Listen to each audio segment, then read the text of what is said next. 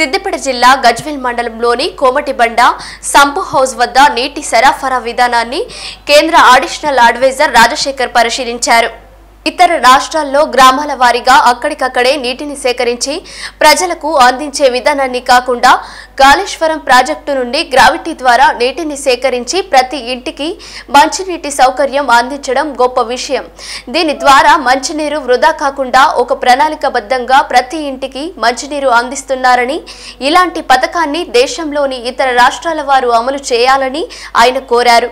Machine Bhagiratha పథకం అమలు తీరును ఇప్పటికే మహారాష్ట్ర కర్ణాటక ఇతర రాష్ట్రాల అధికారులు ప్రజాప్రతినిధులు తెలంగాణ రాష్ట్రం అమలు చేస్తున్న నీటి సరఫరా విధానాన్ని పరిశీలించడం జరిగింది అని రాజశేఖర్ తెలిపారు. మిషన్ భగీరథ కన్సల్టెంట్ రాష్ట్ర అధికారి Narasingarao CE Chakravarthy EE Rajaiah DE Nagarjuna అధికారులు పాల్గొన్నారు.